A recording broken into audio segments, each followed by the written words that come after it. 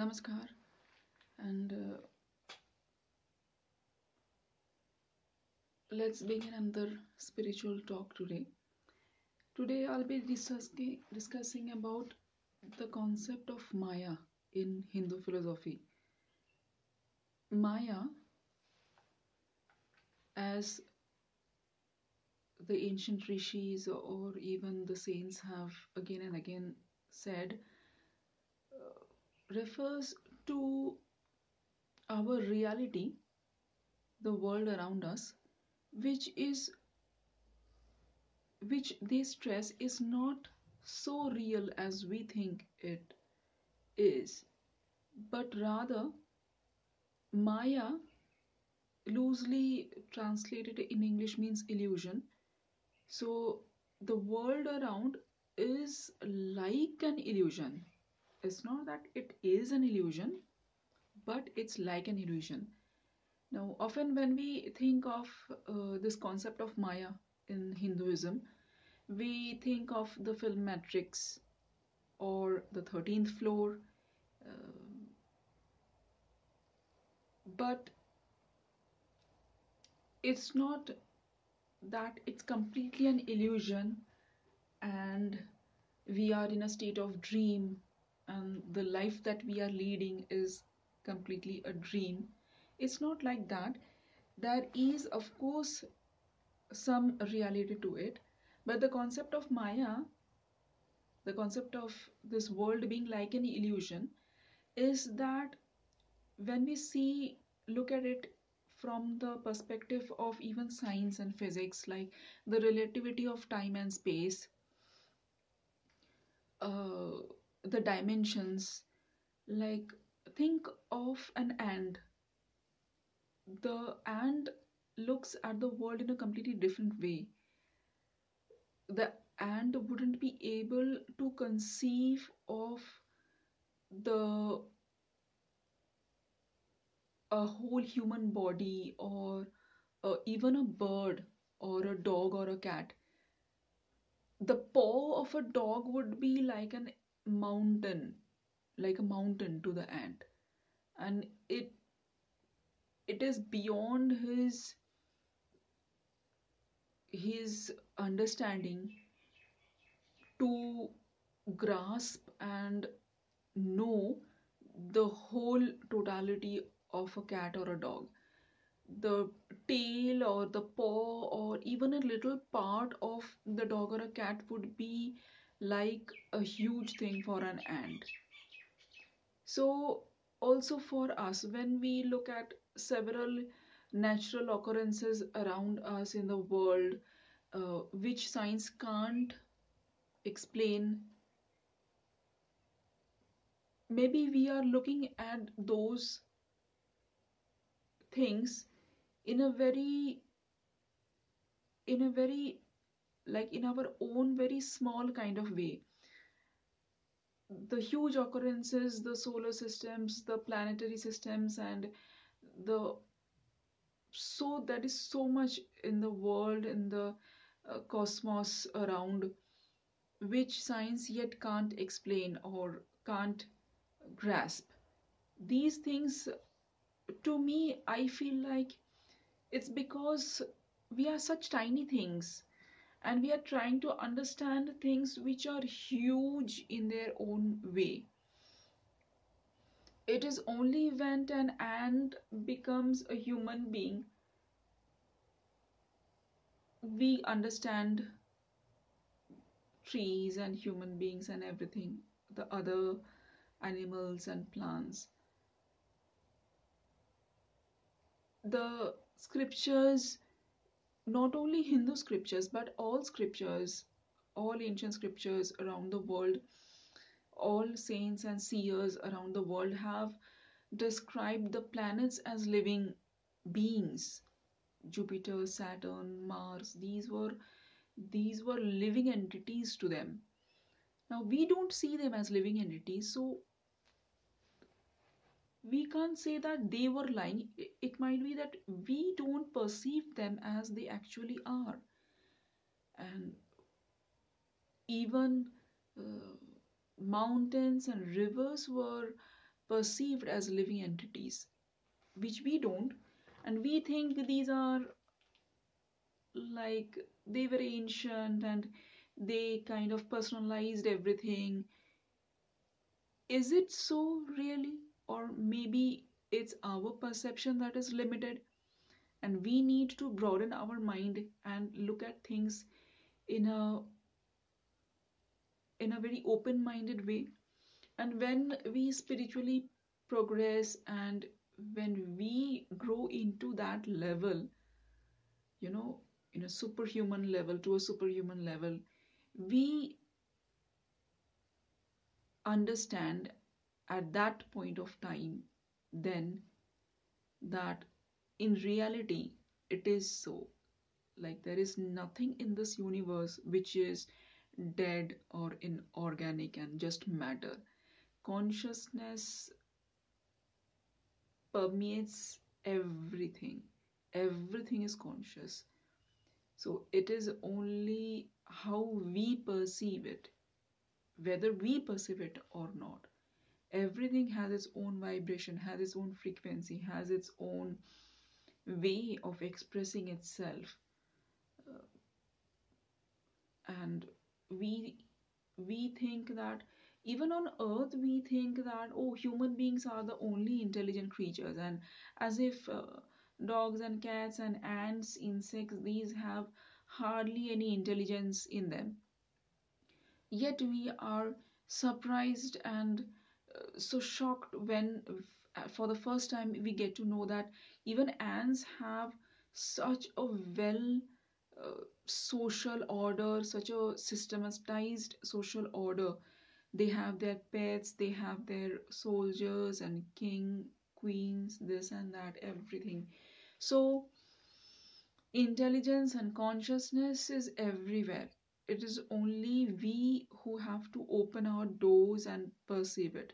So Maya, Maya is it's not that this world is an illusion, but that the world has a reality which is much more vaster and higher than we have yet understood. So that was what I think. That is what I think. And Also refers to the transient nature of this world. It is kind of an illusion or it is like a dream because it is it is ever changing the way we know it. And our lives are so small even in a span of time compared to earth is will live on for millions of years. And a human one human life is just for a few years compared to the life on life of earth the life of rivers and mountains. So even from the perspective of time it's so changing. Like supposing we had a life which lasted for a thousand years we would have seen the rise and fall of the Roman Empire, we would have seen the rise and fall of the Egyptian civilization, the Harappan Mohenjo-daro civilization, uh, huge civilizations, they rose to power, they flourished for a span of time, and then they are no longer there upon the face of the earth.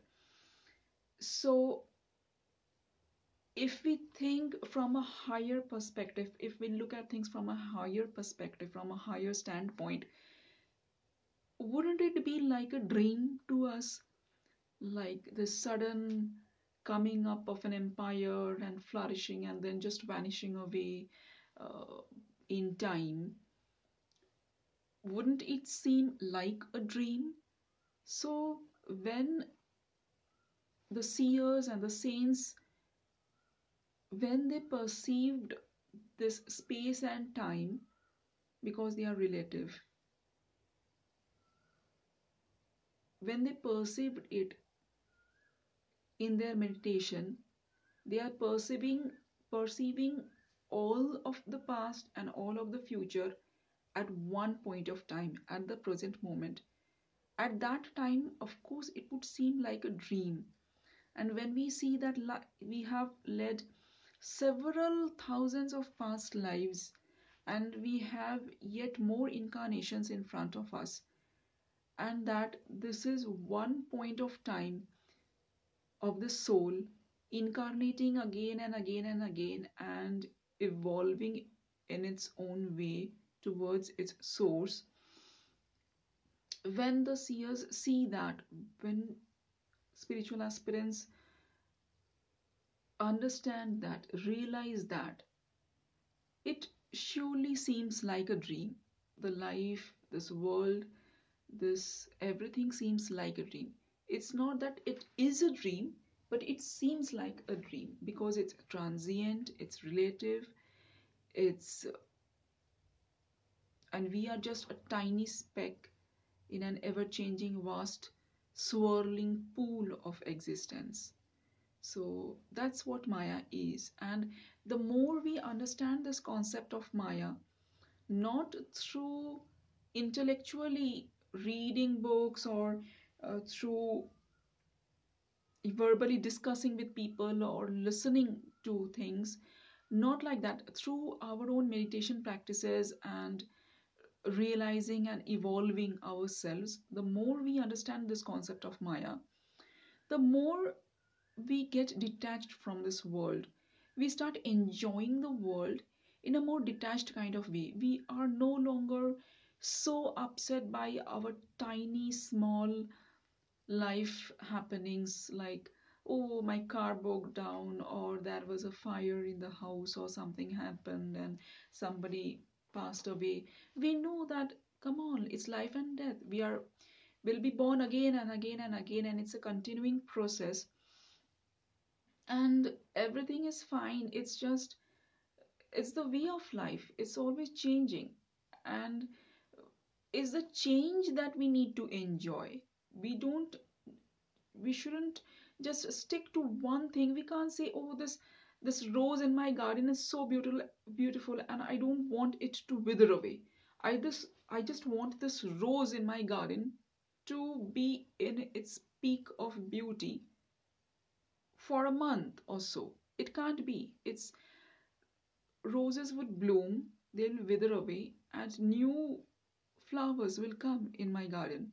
So it's life. Things would come we'll enjoy things would go away and we'll have new things always. So it's we'll start enjoying life and without attaching ourselves to it without being sorrowful about our losses but always excited because we are always going to enjoy something new always. So this concept of maya is for me a very important concept and it's a concept uh, it might be uh, that hinduism gave the concept but then it's well known now all over the world and everybody knows.